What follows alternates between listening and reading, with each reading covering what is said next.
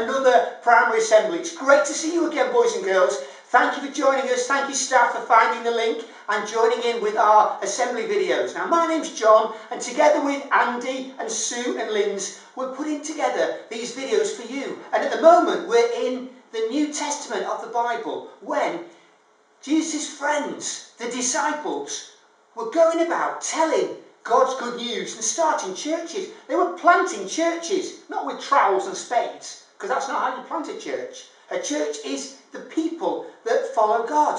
And lots of them were joining together to form new churches.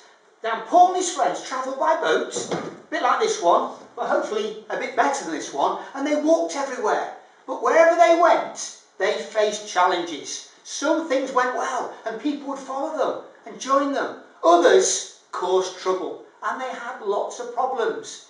What an adventure they were on. And we're going to follow Paul today on his adventures as he travelled around and he went to places like Jerusalem to pass on God's love and God's message to the people there.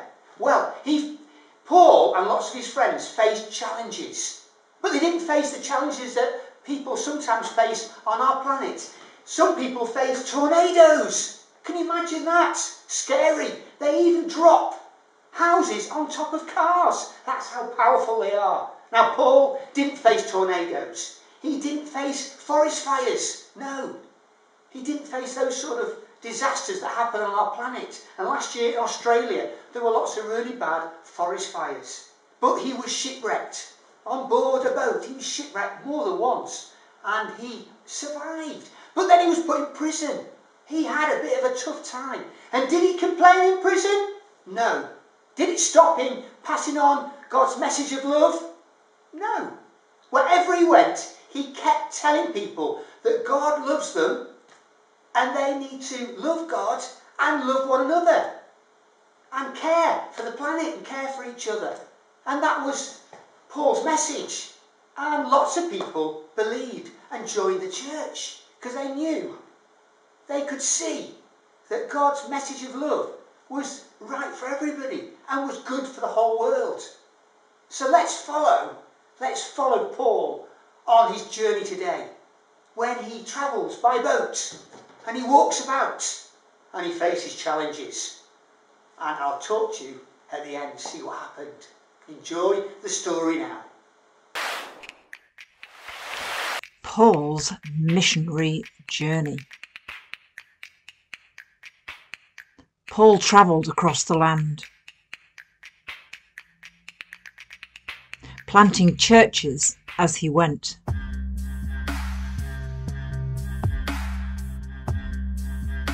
Was Paul worried?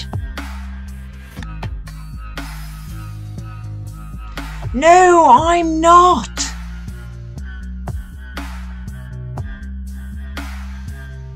Paul journeyed to Jerusalem.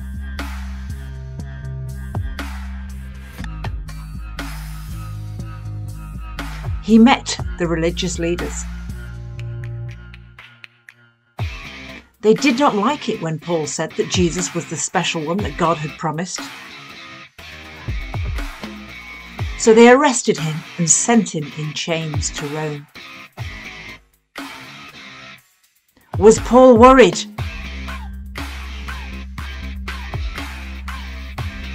No, I'm not.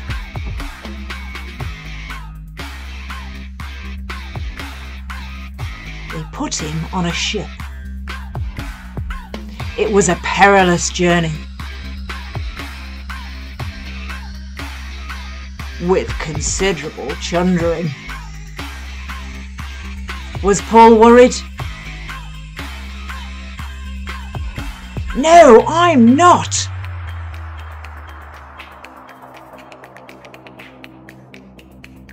They were shipwrecked in a storm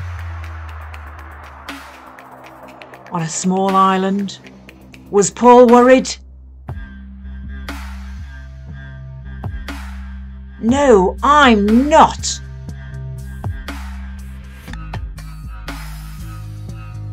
Indeed, the locals shared their food.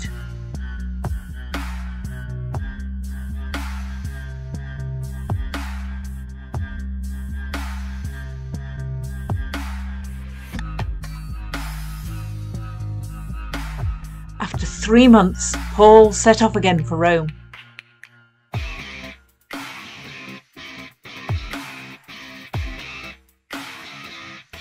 In Rome, Paul stayed in his house until the trial.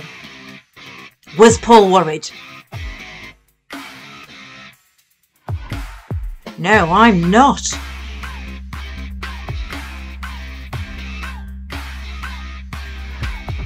While he waited, he told everyone about Jesus. Was Paul worried?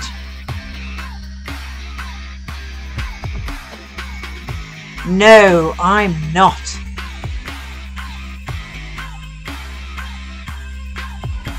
Instead, he wrote some awesome letters to the churches that he had started.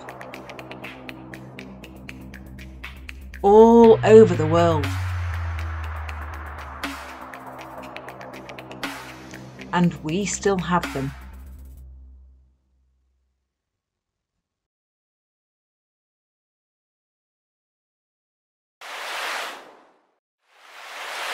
What a story, Paul! Shipwrecked, thrown into prison, and worse, lots of really bad things happened to him. And we think we've got it rough. Well, Paul really had things tough, didn't he? He'd had every reason. He could have easily sung that song, I'm having a bad day. How's it go? Something like that. You see, he'd every reason to complain or moan and whinge and get cross.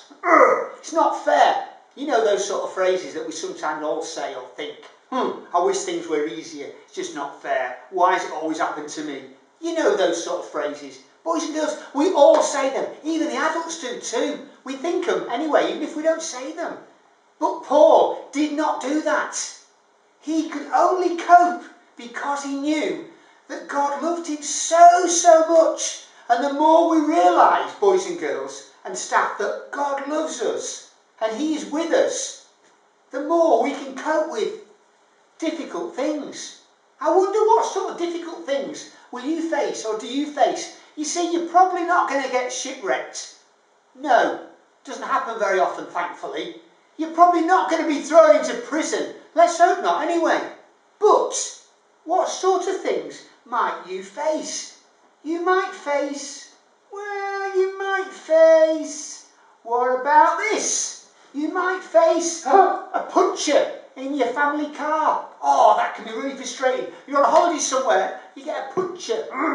Or you might get a flood in your local town. We don't perhaps happen, don't sort of happen around where we are in Cheshire, but they do happen in some parts of England. And what about you might need an ambulance because something's happened, an accident. Or you might just need a plaster on your finger. Or what about when your ice cream falls onto the floor? Disaster. Not really, but really, it's a bit frustrating, isn't it? Everything that happens, everything that happens can really affect us and can make us feel happy, yay, or sad. Mm. The thing is, whatever happens, we need to keep remembering that perfect love, that's love of God's, God's love, casts out, drives out all fear and worry. So Paul didn't worry because he loved God. And God's love takes away our fear. So we can face the ice cream on the floor, or the plaster on the finger, or the burst tyre on the family car, or anything really, even though it's tough at times. And life is tough at times. And we know you are frustrated. Excuse me. We know at times it really is tough when the sound starts on my laptop and I didn't mean it to. What's happening there? Anyway, whatever happens, we can cope only when we remember.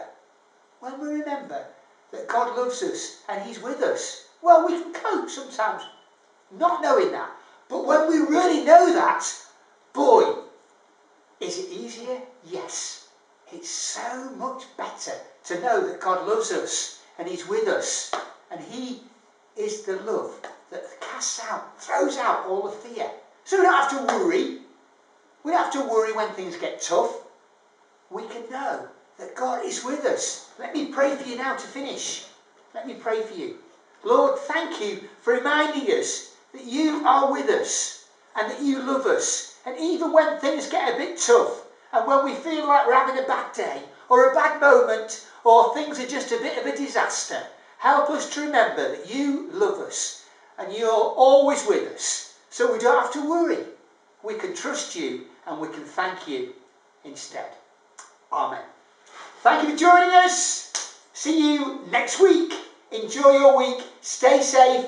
Keep looking after one another. And I will see you next week. Bye